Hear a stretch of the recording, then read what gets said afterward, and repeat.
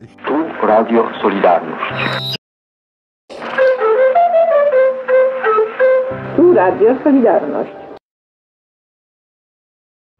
Nasze przedsięwzięcie ma służyć głównie pokrzepieniu serc. Tych Państwa, którzy odbierają naszą audycję bez żadnych trudności, prosimy o trzykrotne wygaszenie i zapalenie świateł. Staliśmy na dachu wieżowca w śródmieściu Warszawy. I oto przed naszymi oczami rozmigotała się cała Warszawa, aż po najdalsze krańce.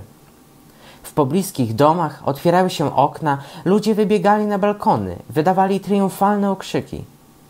Niełatwo ulegam wzruszeniom, ale w tym momencie miałem gardło ściśnięte i łzy w oczach.